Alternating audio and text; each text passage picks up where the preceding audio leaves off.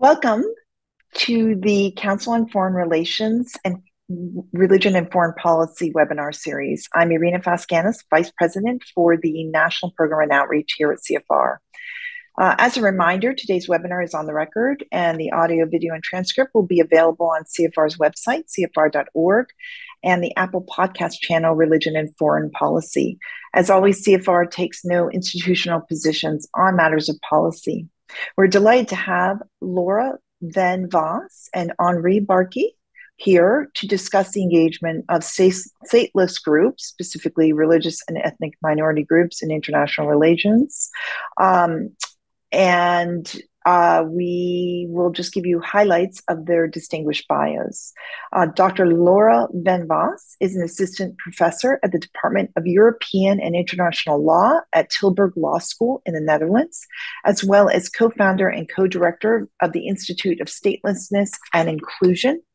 Dr. van Waas's PhD manuscript, Nationality Matters, is widely used as a reference for understanding international statelessness law by researchers and practitioners all over the world. She's carried out extensive research studies and teaching projects for the UN Refugee Agency, the Office of the United Nations High Commissioner for Human Rights, Women's Refugee Commission, the US Department of State, the European Parliament, and many more. Dr. Henri Barkey is an adjunct senior fellow for Middle East Studies here at the Council on Foreign Relations, as well as the Bernard L. and Bertha F. Cohen Chair in International Relations at Lehigh University. Here at CFR, he works on the strategic future of the Kurds in the Middle East and writes extensively on the Turkey, the Kurds, and other Middle East issues. He previously served as a non resident senior associate at the Carnegie Endowment for International Peace and on the State Department policy planning staff, where he focused on issues related to the Eastern Mediterranean, the Middle East, and U.S. intelligence. Um, so, both welcome both of you to today's uh, conversation. Thank you very much for spending the time with us. Um, Laura, I would love to start with you um, to give us a definition of statelessness uh, and um, give us some context before we uh, get to more specifics. Of course, thank you. And I'm really pleased to be here with you today. Um, so, statelessness, it's quite a mouthful.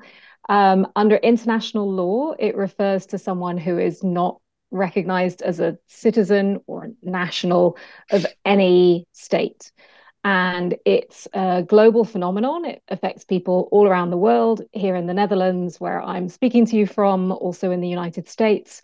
Um, and it, it uh, arises from a number of different causes. Um, at its basic kind of level of, of, of the system of nationality, each country sets its own nationality rules. And that means that things can sometimes go wrong and people can become excluded. Um, in some cases, it's a kind of a conflict of nationality laws in how they operate that someone is born in one place to parents from another place and they don't meet any of the criteria to access nationality. But much more often, statelessness is actually a cause of discrimination. Um, so, discrimination against religious and ethnic minorities is the most significant cause of statelessness globally. The UN estimates that 75% of those who are living without nationality today belong to minority groups, but also discrimination against women can cause statelessness. There are 24 countries where women don't have the right to pass nationality to their children on equal terms with men. That can again put children at risk of statelessness. And it also tends to be an intergenerational problem. So, for many countries, the United States is a little bit of an exception. Um, in many countries around the world, you acquire nationality through your parents. And if you have stateless parents, you are also born without a nationality. So, it's a problem that is self perpetuating. Uh, and globally, it's understood that the problem is growing over time. So, more children are being born stateless than individual statelessness cases are being resolved. Um, and perhaps kind of to wrap up this broad strokes introduction, um, if we think about the connection with religious and ethnic minorities, then in particular, the mind goes to a number of uh, communities that are affected by statelessness and have been for, for a considerable time. So groups such as the Rohingya minority community in Myanmar that also faces severe persecution and acts of genocide, uh, groups such as the Kurds in particular in Syria that I think we'll also hear more about later on. Um, There are also communities targeted in Assam in India, where a large number of people were deprived of their nationality status in 2019. Uh, Dominicans of Haitian descent in the Dominican Republic stripped of their citizenship in 2013. Um, and there are examples from Kenya, from Kuwait, uh, from Europe. Um, so it's definitely an issue that sits very much at the intersection of uh, human rights and discrimination against minorities. I hope that gives a kind of the kind of context that you're looking for. Absolutely. Henri, do you want to um, uh, give your perspective? Sure. Um, thank you for inviting me. Um, I'm delighted to be here. Look, Laura essentially defined what statelessness is. What I will do is I'll talk about the Kurds, who are essentially the largest minority today, probably in the world, without a state. And they are kind of unlucky because they are divided among four countries, Turkey, Iraq, Iran, and Syria. And when you look at the numbers, in fact, it's actually quite significant. I mean, there are 60 million Kurds, people estimate, in Turkey, um, 7 million in Iraq, 10 million in Iran, and maybe 3 million in Syria. Now, we don't know what those numbers are because they're not recognized as, as such, they're not recognized as being Kurds. Um, there's no piece of paper that says, you know, you're a Kurd, except for Iraq, and I'll talk about maybe in the second part. But the interesting thing about the Kurds is that they are a distinct uh, minority in the sense that they have their own traditions, their own language. They've been around for uh, thousands of years, so it's not as if they just emerge out of nowhere. But politics or geopolitics essentially has determined their fate. That is to say, whether you are in Iran, Iraq, sorry, actually Iran, Syria, or Turkey, let's put Iraq aside for a moment, um, you are not even recognized as being a Kurd. There is no such thing as a Kurd. You don't exist, essentially. But it does not mean that you are not a citizen of the country in which you live. Let's say you're, you, you, you're a Kurd who's born in, in a town in, in, in Turkey you will get a Turkish nationality, you'll get a name, you'll get uh, identity papers, etc. But you will not be recognized as a Kurd. Moreover, the more important thing here is the cultural aspect. So if you are born into a Kurdish family, uh, you'll be speaking Kurdish at home, whether you live in Iran or Iraq or Syria or Iran or um, Turkey.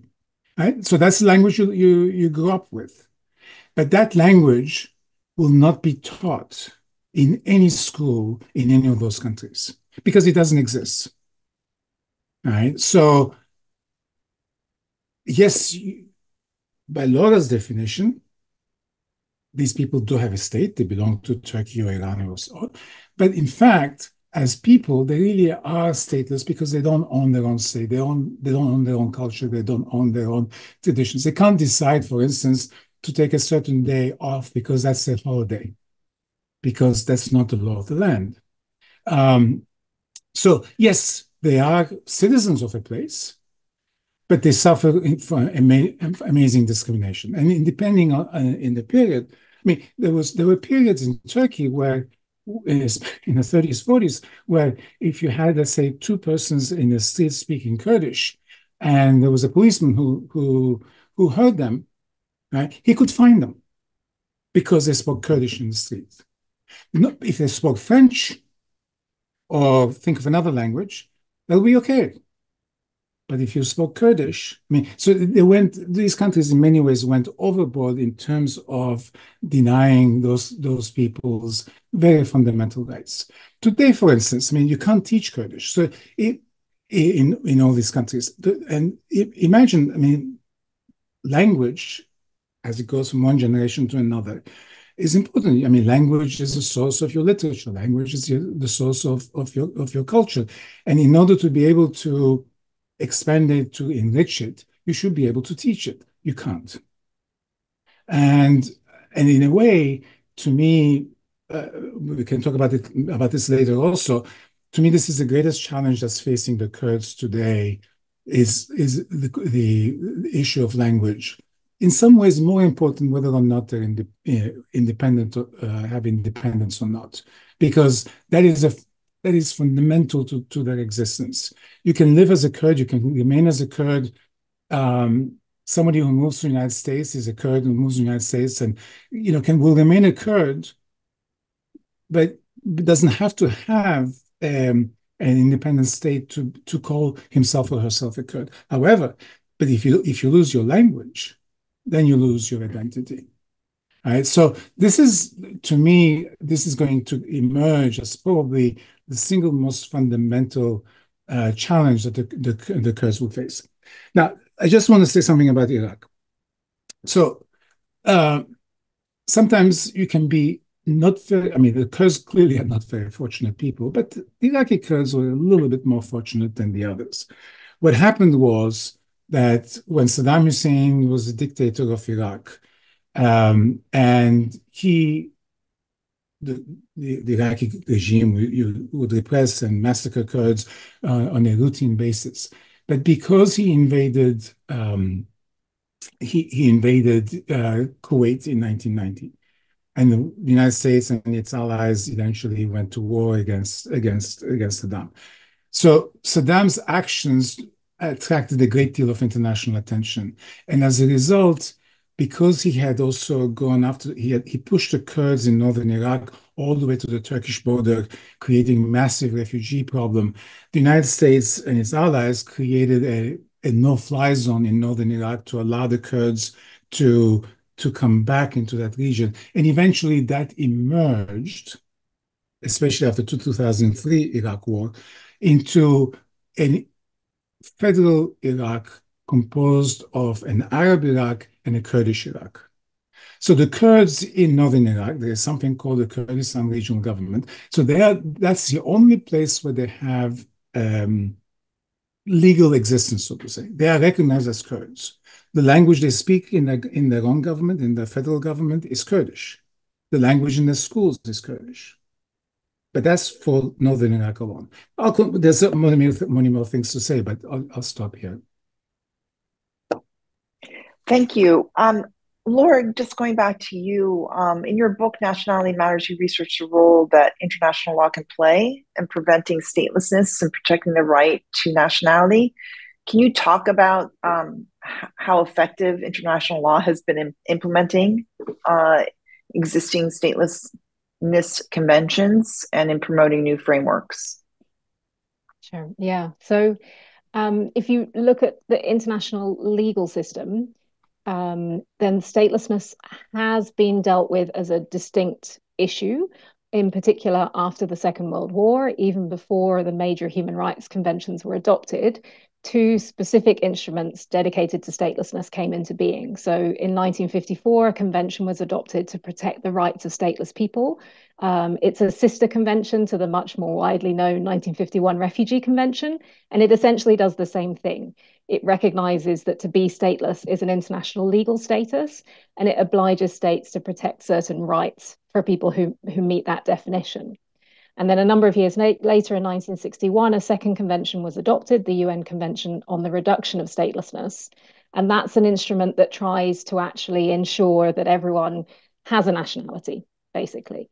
Um, but unfortunately, after these instruments were adopted, not very much happened for several decades, and there was not a lot of interest in the issue more broadly, um, and very few states actually acceded to the conventions. But what happened in this intervening period is obviously the flourishing of human rights law. And as I discussed when I explained the context in which statelessness arises, it's actually quite a cross cutting issue. So it goes to questions of gender inequality, children's rights, um, minority rights, discrimination, and these are all areas that came to be protected under human rights law.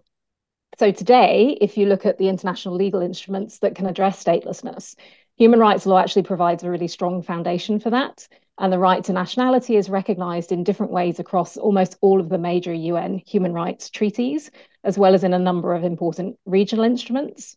And what has happened over the last uh, 20 years, in particular, since the turn of the millennium, is that people have started to use these, including through strategic litigation, to really assert that the right to a nationality is some is a right that you can claim vis-a-vis a state.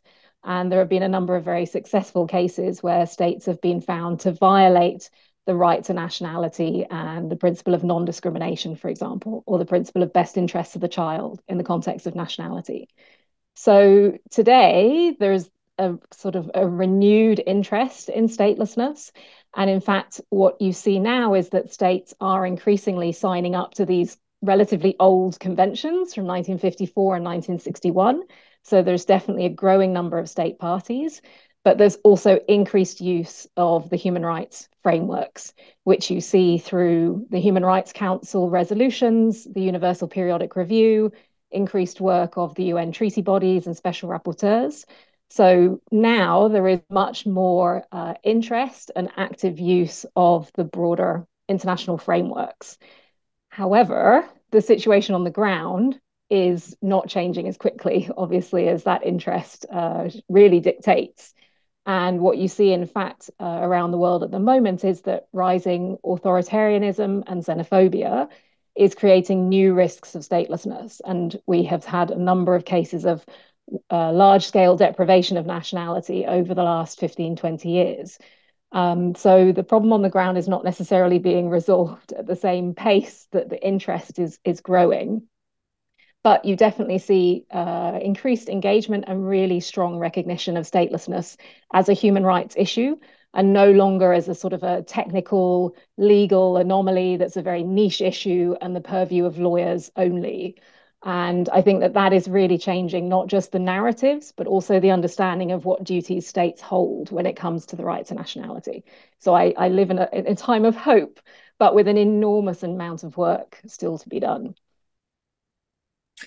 Thank you. I'm going to uh, throw one last question to you, Henri, and then we'll go to um, the the group uh, for their questions and comments. So please um, think about what you want to ask. Um, we want to invite you to join the conversation. Um, but in light of what you you did talk about, um, how has the Kurdish identity and the Kurdish diaspora's connection to its homeland been shaped um, in spite of the lack of a recognized Kurdish state? And are there lessons to be learned? For lessons to be learned for for that can inform international policy for other other groups. Um I I don't I mean uh, to be honest I don't know because the Kurds are relatively unique given their situation. And you I will I will get to that in a minute. But I wanted to make a point to kind of talk about what Laura was saying and give you a, a concrete example with respect to the Kurds. Now, I did say that the Kurds essentially are the citizens of the countries in which they live, but they're not recognized as such. They don't have that identity. There is actually one little exception to, to the question of statelessness. I mean, statelessness, as Laura essentially talked about was is a, it's a legal construct, right? And I was talking about a political construct. But there's a one there's one case in Syria in 1962.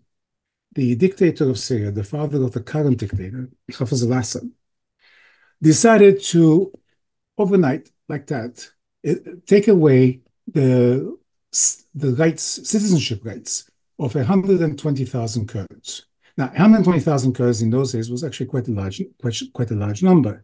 Um, I mean, today, as I said, there are 3 million Kurds. Maybe uh, Syria's population is about 10 million. But anyway, in 1962, in a, in a, in a heavily Kurdish region called Hasaka, he just took away their rights. Now, what does that mean? I mean, this is 1962, so we're not talking about a globalized world. We're not talking about the ability of people to move easily we know. So if you are, imagine for a moment, you're a family of five, just pick a number. From one day to another, your right as a citizen is taken away. What does it mean? That means you can't go to school. That means you can't avail yourself of health uh, services, uh, government services. And, and country like Syria, especially in those days, was very centralized. Today, it's true, very centralized. I mean, the state is very, very important, right? social security or any type of retirement, right? any any right that the state gives a citizen overnight with no reason whatsoever would be taken away from you. Why did Assad, um, Assad do this? Because he wanted to be able to manipulate population numbers and, and change the demographics of that heavily Kurdish area and essentially reduce uh, the power of the Kurds. Now, you have to understand that in all four countries, the Kurds have been um, seen with a great deal of hostility because, you know, those the leadership in all those countries have, have always feared that the Kurds will rebel. And yes, they have rebelled. In every country, the Kurds have rebelled. I mean, they have not accepted the conditions they, they found themselves in. And in fact, today, in, in three of the countries, there's an active Kurdish rebellion. And in Iraq is the only place where you don't have any, but because you have a federal state. Uh, but in 1962, so these 120,000 Kurds, and the numbers, of course, the, the descendants, when you think about the descendants, etc., is much, much larger. We don't really know how many there are. Um, and so the, the, Assad's son, um, Bashar, in after the Syrian uprising started in 2011, he tried to maybe um, improve conditions, so to say. He did make some overtures, but in reality, they were really sham, and those people never really got uh, in significant numbers back their rights. So to this day, technically, they live in Syria.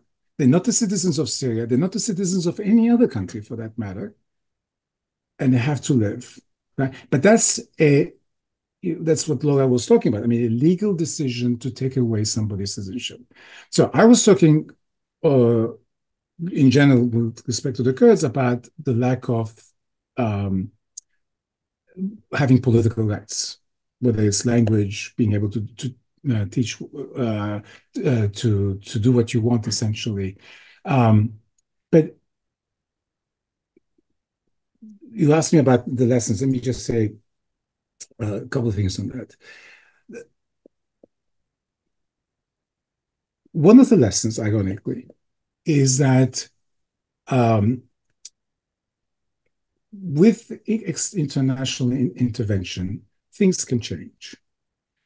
So after um, 2003, after the second Iraq war, we we ended up with an Iraq that was, and Saddam was overthrown. We ended up with federal Iraq. The boundaries of Iraq were not changed, but its its structure was changed so that the Kurds now had certain rights. Now, that, that event in of itself, if a lesson to be learned, is that the Turks, the Iranians, and the Syrians are petrified that we're going to do this again with the international community. That so the, the Turks have, uh, even though the Syrian Kurds are America's allies in the fight against the Islamic State in northern Syria, the Turks continuously attack them because they perceive uh, that we are going to create another Kurdistan regional government as we did in Iraq, that there will be another federal Syria since Syria is, is a mess now. The Iranians fear the same thing. And that if you if you create a second Iraqi-style Kurdish government, that who's going to be next? Iran, Turkey. So I mean, there are the lessons that are being learned sometimes are not necessarily positive lessons, but negative lessons. Understood. Um, all right. So thank you both for that. I want to go now to all of you for your questions. Uh, you can um, click the raise hand icon on your screen to indicate that you'd like to ask a question. And when I call on you, you can accept the unmute prompt um, and state your name and affiliation, followed by your question. And you can also submit your question uh, via the Q&A feature in your Zoom window. And if you do that, please um, include your your affiliation. I will try to pull it as well, uh, but would love to be able to include that to give um, context. Um, so the first written question we have is from LeAnn Flesher, Vice President of Academics and Professor of Biblical Interpretation at Berkeley School of Theology. How does statelessness impact the Palestinians? Laura, do you want to? Yeah, I, I, I can start us off on that. So, um, the statelessness of Palestinians is a slightly more complex legal question than for other groups, such as the Kurds in Syria, who, as was described, were stripped of the citizenship of the country that continues to exist. So there is a Syria, you can be a Sy Syrian citizen, but this group of people is no longer considered that. Um, in the question of Palestine, it uh, the the statelessness or citizenship of Palestinians is obviously closely associated with the question of Palestinian statehood, which remains a contested issue um, within international relations more broadly. What is clear is that there is um, there is no citizenship law of Palestine. And so, even for those uh, countries that would recognize Palestine as a state, it remains a challenge actually to ascertain the legal status of Palestinians um, because it's not entirely clear who would be considered as a citizen by the state of Palestine. That's more evident for those who remain in the occupied Palestinian territories, but for those who have been displaced over successive generations by conflict, it's not clear who would be included um, under the citizenship legislation or future citizenship legislation of Palestine. Um, what you also see in the region is that countries that have um, provided, uh, have been host countries for refugees from Palestine, have generally accorded them rights without providing access to citizenship in that state. So even though you may have several generations of Palestinians living in Lebanon, for example, um, it doesn't mean that they have been able to access Lebanese nationality. In fact, there is a general accord among Arab states that there shouldn't be access to nationality in the host country because it's a way of confirming that in fact the, the Palestinian state is the state of nationality of that population and where people should be able to return to. So it's a little bit more complex, and what you find in practice is that in countries where Palestinians um, become displaced as refugees, which we saw quite considerably when the conflict in Syria also forced Palestinians who had previously lived in Syria to become newly displaced, for example, to Europe. Then other countries are grappling with this question as to whether to recognize Palestinians as stateless or to consider them nationals of Palestine um, in the acknowledgement that citizenship of Palestine doesn't function in quite the same way as it would for, for other states. Also, because Palestine doesn't have control fully over its territory uh, and the admission of nationals uh, of Palestine back into that territory. So, um, I'm sorry if that's a convoluted answer, but it, it's it's less straightforward, I suppose, in legal terms than it would be to say whether Rohingya are stateless or not, because they are clearly excluded under the citizenship law of Myanmar, which is their country, um, which makes it a slightly more complex question to answer. But it certainly speaks to their their treatment um, internationally. Um, can I just add something to that? I mean, there's also absolutely a difference between them and the Kurds in the sense that nobody uh, denies that the Palestinians exist right? I mean, including Israelis. I mean, there are Palestinians who live in Israel who are Israeli citizens from back from 1948, so they have Israeli citizenship. But nobody is, you know, we, we talk we talk about the Palestinians, but we don't necessarily deny their existence. Whereas for the Iranians, uh, the Turks, uh, the notion of Kurds is they deny very much the existence of Kurds. I mean, nobody denies the fact that Palestinians speak Arabic, right? Or or may have different religions. If you deny the, the rights of the Kurds to speak Kurdish, it's a different. It's uh, ironically it's a different ballgame, right? So so you have the Iranians and let's say the Turks and the Syrians who support the Palestinians, but they, when it comes to their own Kurds, they they apply a completely uh, different standard. Thank you. Um, I know that uh, LeAnn had her heads raised. Do you want to just uh, comment? And then I'll go to the next question. I didn't see you had raised your hand before I read your question. Oh, I'm sorry. I raised my hand because you were saying that we had to raise our hands and I'd already written my question. But thank you. That was very, very helpful. Uh, I will be teaching a class in the fall that deals with the conflict in Israel Palestine right now. And uh, that was one of my key questions, you know, how to think about them in terms of statehood and so on. So I appreciate your responses. Fantastic. I'm going to go to the next raised hand, Shaker Al Sayed. Thank you very much. Um, the question I have is actually uh, much more a remark for policymakers to consider and for the uh, Council on Foreign Policy to see if this is something that the United States can help with to advocate it as a policy, which is any state who does something like what Syria did, canceling the citizenship immediately of hundreds or tens of thousands of people all at once, they should be recognized as a pariah state, and their recognition by the United Nations has to be in question, and any aid to this kind of government, because if we leave the influx of statelessness continue, we will end up in a century or less that states will mean nothing. So we, we need to kind of like stem this in the bud because this phenomenon makes people lose the sense of security, the sense of presence, the sense of belonging, and those are central for the human, social, economic, and political interaction and rights. So this is much more than the right to be educated or the right to speak your language. This is about your existence. So I wonder if that policy is something that could help if every state knows that I cannot cancel my own citizen right to citizenship, that that's my, my, my issue. Thank you.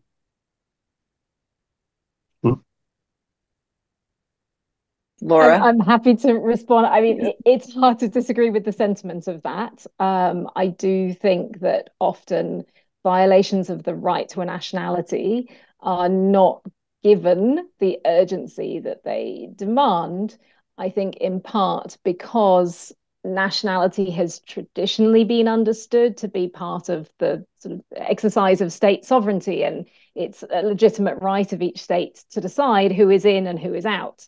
Um, and that means that when that power, which in itself is uncontested, is used abusively, it is more challenging, I think, in some cases for states to um, really step up and say that a line has been crossed.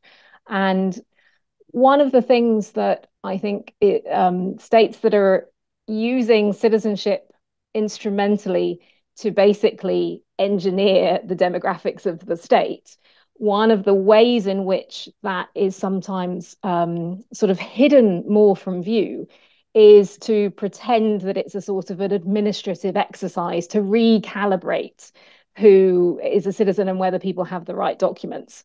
Um, I believe that that's what happened actually in, in Syria also in 1962, that there was a sort of a census exercise that was purportedly an administrative exercise whereby people had to provide certain documents and then their name would simply be reinscribed. And that that sounds much less harmful in some ways. It, it's it's a bureaucratic thing. Surely surely that's fine. Um, and that's what you've seen, for example, I mentioned in India, in the state of Assam, there was an exercise to re verify who is a citizen of India. But by the time the state had finished checking everyone's documents and demanding proof that people had been in the country since before 1971, 1.9 million people were left off the new National Registry of Citizens. And while there was, you know, international outcry from civil society groups and considerable public attention given to this, I don't see that leading to the kind of um, measures that you've described against the state of India. And in fact, there is much talk about rolling out that exercise that was limited to the region of Assam to the rest of the country. Um, and so I, I do feel that for a number of different reasons, and in some cases there's wider geopolitical issues at stake but the right to a nationality is is politically fraught and not as easy i think for states to maybe intervene on as on other issues such as education which are much less perhaps politically hot potatoes. Um, but i agree that much more can and should be done. And it's really important to recognize what is actually happening and not to be sort of bamboozled by bureaucratic pr processes or um, you know have have these kinds of things covered up in that way. Henri, do you want to add anything or should we go to the next question? Uh, right, we will go to uh, Az Azza Karam, please. Um, thank you so very much. Extremely enlightening. I have a question for both of the speakers, and it may seem a little bit um, all over the place, but it actually has to do with. I, I appreciated the the highlighting of the of the matter and the issue of statelessness per se, and I noted the hope that um, um, Ms. Van Waas was mentioning in terms of we now have this as a very clear issue with clear guidance and so on and so forth. But what I'm curious about is that the number of stateless people in general is perhaps larger than it's ever been in our common history, recorded history. And we do know that states, such as they are, as you have all pointed out very well, are struggling anyway with their own stateless minorities.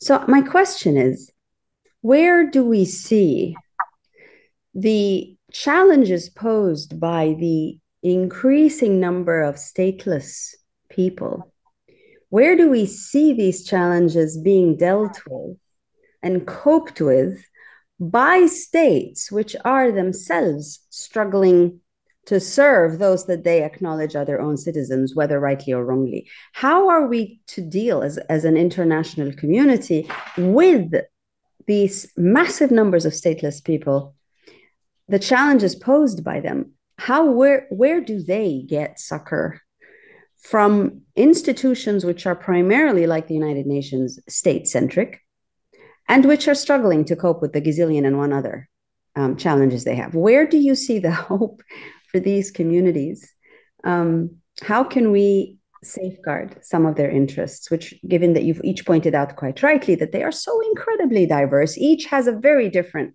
um, reality and, and record and so on. Where do, where do we deal? How does the international community deal with statelessness in its multitudes today? What are your thoughts on that? Thank you so much. Laura, why don't you go ahead since Okay, sure. It, it it's a wonderfully large question. I I so I, I have to be an optimist. My work requires that of me because if I lose hope that something can change, then all of the people who I work with who are actually directly impacted by statelessness around the world um, cannot lean on that optimism and hope and continue with their work. So by default, I have to kind of see that there are opportunities. But I think, I mean, I also do genuinely believe that the successful issue emergence that there has been over the past decade in particular when it has really sped up that it matters in um, probably a myriad small ways and so while i agree that the problems are larger than they have ever been and the covid pandemic also really shone a spotlight on just how acutely at risk you are when things are even under more pressure if you are not a citizen of any country and you're not being factored into emergency relief and healthcare, etc. So, yes, the problems are enormous. But I, through my day to day work with stateless communities around the world and individual activists, I know of many examples of small but very important successes. So, for instance, in the United States, a community group organized themselves as United Stateless formed an NGO and is taking on advocacy in Congress to pass legislation and has had a number of successes already with the administration in terms of having statelessness recognized as, uh, as a status under US, at least administrative procedures.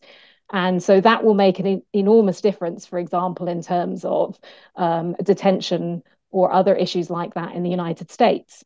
Um, there are countries that have reformed their laws to allow women to pass nationality to their children, which makes, again, a very wide difference um, system wide for those countries and prevents a risk of statelessness. And so my hope is derived from many, many, many smaller successes. And what I also see is that while it, it is increasingly frustrating to see how um, obstructed processes are within the UN system for many issues, including for statelessness. What you see emerging in maybe also um, in response to that is ever greater mobilization by communities that are directly impacted to take their own advocacy forward and to also push for local solutions to work directly with civil registries in their own localities to resolve problems in the day to day. So I see not just an issue emergence in terms of international recognition, but also this emerging bottom up local activism that is driving change in many ways, even if we're going to have to wait longer for that bigger systems change. Um, and I'm very happy to also share more examples of that type of work for anyone who's interested in what community groups are doing. Um, let me, I, I, look at it differently because I don't do what Laura does, but um, the truth is the the problem that, that, in my view that's expanding, which of which statelessness is one aspect of, is a lack of rights generally around the world. I mean, now, I mean, countries are becoming. Uh, there seems to be a return to authoritarianism in many countries, whether it is populist authoritarian leaders or it is state um, uh, dictators. Uh, you you increasingly a minority. I'm sorry, and minorities whether ethnic, religious, or what, uh, whatever, however you want to define a minority, end up uh, being on the receiving end. And it doesn't really matter whether you're a member of the state or you're uh, you, you're stateless or you're not stateless. I mean, but that's the problem that's that's that's expanding. Yes, we saw maybe the other day in Bangladesh, you saw the long-term uh, authoritarian leader being kicked out, uh, which was great. But let's see if it's going to be replaced with something better. But the increasing polarization, geopolitical polarization of the world between the West and Russia and China, on the other hand, also is not a good sign because now you find that uh, uh, countries like China and, and Russia are really pushing for uh, supporting essentially very, very authoritarian regimes. I mean, you see that in, in, in the fight over what happened in Venezuela last two, 10 days ago in the elections, right? I mean, both uh, the Chinese and, and the Russians are supporting the incumbent who clearly lost the elections. Um, but so, but these are what I'm talking. Uh, I'm just basically talking about an atmosphere of increased uh, authoritarianism in in the world, and of which statelessness is one aspect. Thank you. I'm going to go next to Sheikh Ubaid uh, who has a raised uh, hand and also uh, wrote the question in the chat. So over to you. Th thank you so much for the opportunity. Uh, my uh, question was uh, if we uh, really, if the international community really wants to be effective, then there shouldn't be a single standard for example, uh, Rohingyas have been suffering genocide and ethnic cleansing from the 1960s, even though the citizenship was taken away in the 1980s. But we do not see any assertiveness by the international community. Uh, you know, the most recent being around you know 2014 when we saw mass rapes and ethnic cleansing another wave. There so so, few Rohingyas are left in Burma compared to outside. And similarly, as it was mentioned, uh, India's drive uh, in northeastern India and now the whole of India uh, is not getting so much scrutiny. We see that in Kashmir. So, whereas for the Zionist Jews and for Iraqi Kurds, there was international intervention. So, unless uh, you know there are uh, policies by the NGOs to, to, put pressure on their governments. This will not. And I would like to make, I think, two two corrections in 1962, Assad was not yet in power in Syria. Uh, so I do not think that he was involved in taking away the citizenship of the Kurds, even though he was a very you know tyrannical dictator. Uh, and secondly, Israel rejected uh, the the existence of Palestinians till recently. Golda Meir and even later uh, other leaders uh, kept saying that there is no such thing as Palestinians. Only under under international pressure they now admit that there is a Palestinian entity. So we have to continue to uh, exert pressure from outside in, in all these spots.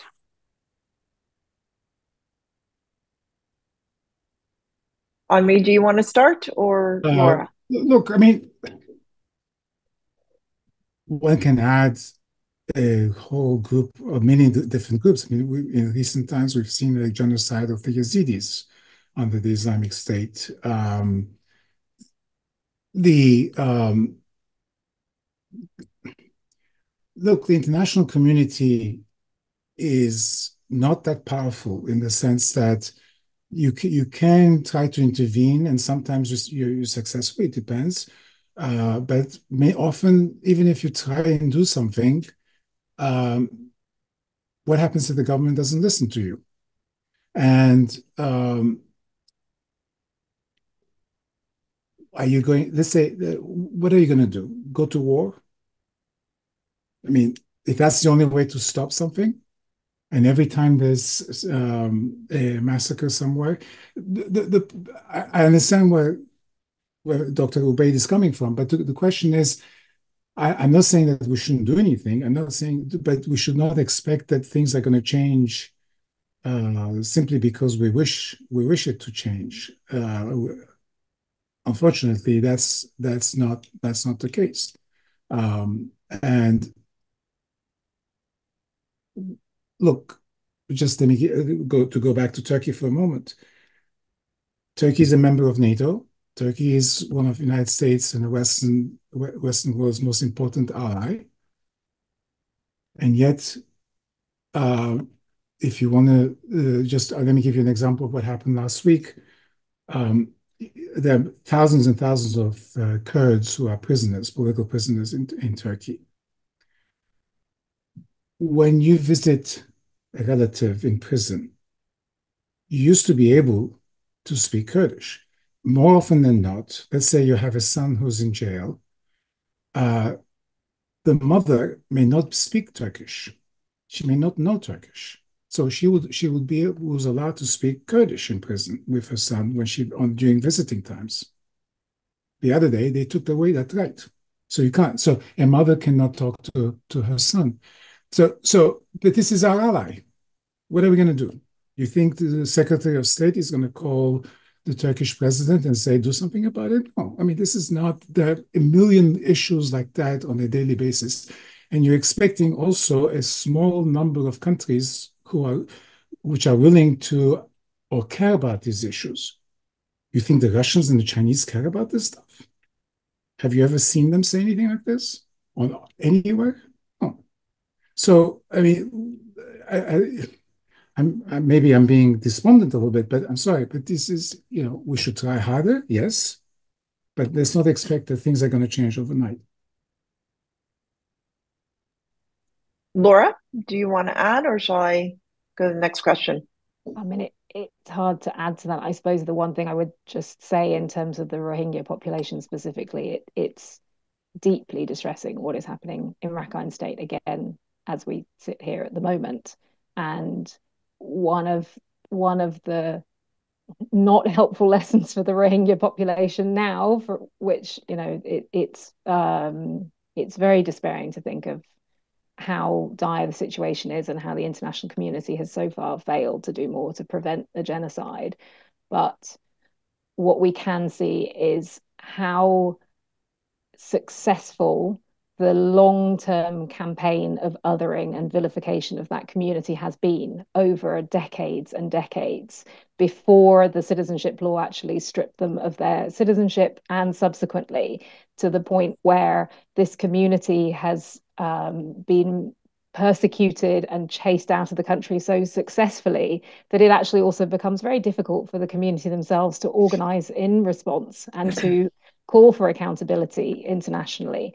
Um, and so it's uh, sadly an example of just how um, statelessness can become part and parcel of this really extreme form of othering and such uh, an effective means of taking away rights and voice and identity. Um, and now, over 75, 80% of the Rohingya population no longer lives in Myanmar. Um, and there's questions as to whether they would ever be able to return. And so it's, it's an example again of understanding that the right to nationality is not just a right that stands on its own, but it has such deep impact for individuals, but also for communities and their um, their identity and ability to exist. Uh, fantastic. I'm going to take a written question from Mark Eddington with the Convocation of Episcopal Churches in Europe. We're speaking here about the policies of states toward the issue of statelessness. What role do you see for religious communities in raising awareness, advocating, and providing support for stateless communities? Maybe I can give a short initial answer to that. So, um, at, at, the moment, there is a very exciting new international initiative. We will have to wait and see what the impact of that is. But uh, basically, to date, UNHCR, the UN Refugee Agency, has been the lead agency for addressing statelessness and has uh, spearheaded previous efforts. But what is happening at the moment is actually the establishment of a global alliance to address statelessness, which involves a number of different UN agencies, as well as international organizations, regional organizations, civil society groups, and stateless led groups. And there is absolutely space within that also for religious organizations and leaders to become part of efforts to further raise awareness of the issue and also to support advocacy for areas of policy change. Um, one of the specific thematic issues that the Global Alliance will work on is around the child's right to a nationality, for example. And there, there is a role for religious institutions not just to promote this right and the importance of the right to nationality for every child, but to even get involved at the level of assisting with birth registration processes and awareness raising for individuals. So there is great scope uh, for involvement. There are a number of existing things that have happened over the last few years that are good examples. Um, and this is really the time to push for greater involvement. The Global Alliance will launch on the 14th of October in Geneva. Um, and it will then become, you know, possible to become more involved in those efforts going forward and to help shape the agenda. Great. Uh, I'm going to take the next question uh, from Saeed Saeed, who's a religious life advisor at Columbia University. If you can unmute yourself.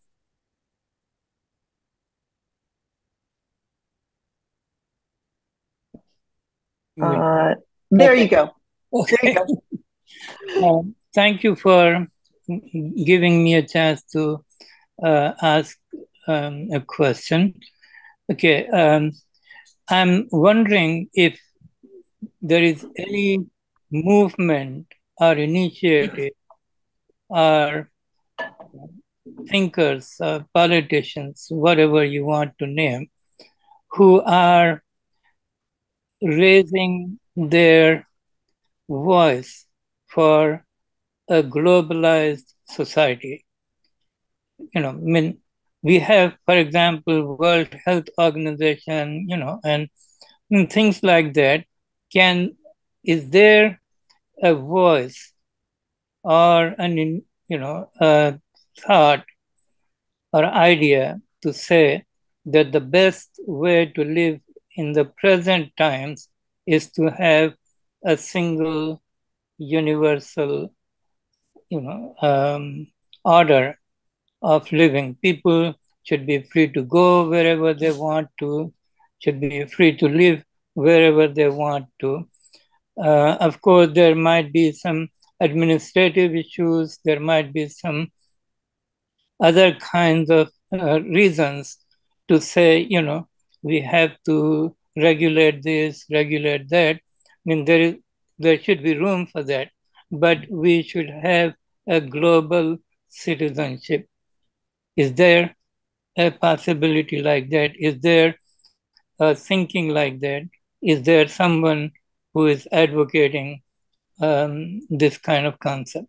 Thank you.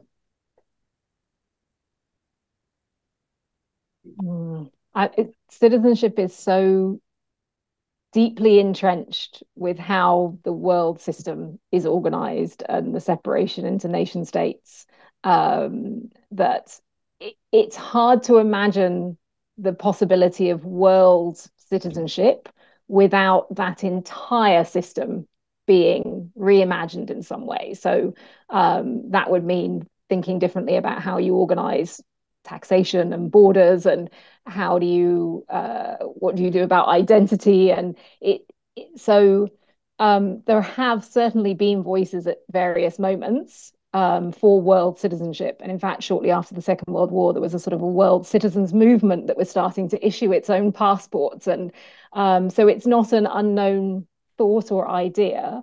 Um, but if if you look at the world today, you see much more uh, raising of walls and cementing of borders than the opposite. So I think that we're moving far more in the opposite direction, unfortunately, where um, you know states are really putting their own citizens first and testing again who's on the inside of that.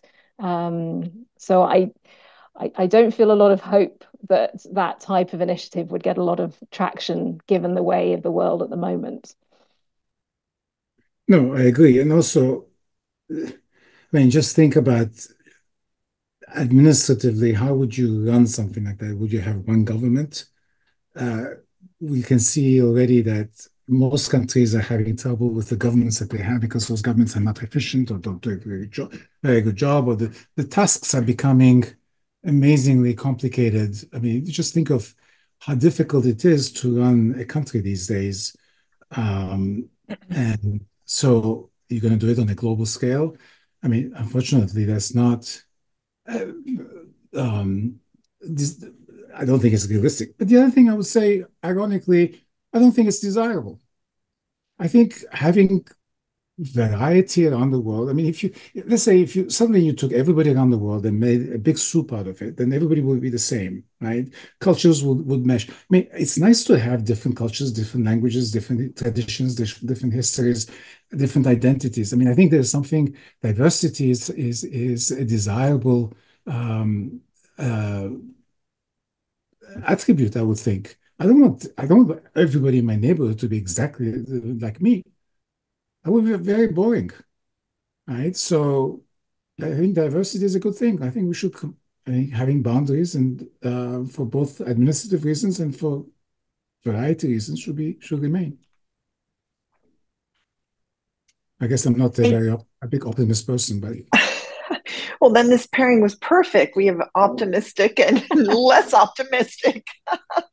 um, we are at the end of our time. I'm sorry we could not get to all the questions, but thank you both very much for this really very rich conversation um, on a very uh, important issue. Um, thank you for all the work that you're doing on it um, and for your optimism. We appreciate it. Uh, we will be um, sending out, as I said at the beginning, the video and transcript uh, to this um, conversation, um, posting it as well. We encourage you to follow uh, their work on X at Laura Van Waas and at H. Barkey. Um, and we also encourage you to follow CFR's Religion and Foreign Policy Program at CFR underscore religion. You can send us any feedback or suggestions for future topics and speakers at religionprogram at cfr.org. Um, we appreciate your joining us on this August day. Uh, we hope you enjoy what's the last week of August before we get to Labor Day and are off and running back to our regular tempo of programming. So, again, thank you to Laura Van Waas and Henri Barkey for your expertise and your time today. We appreciate it.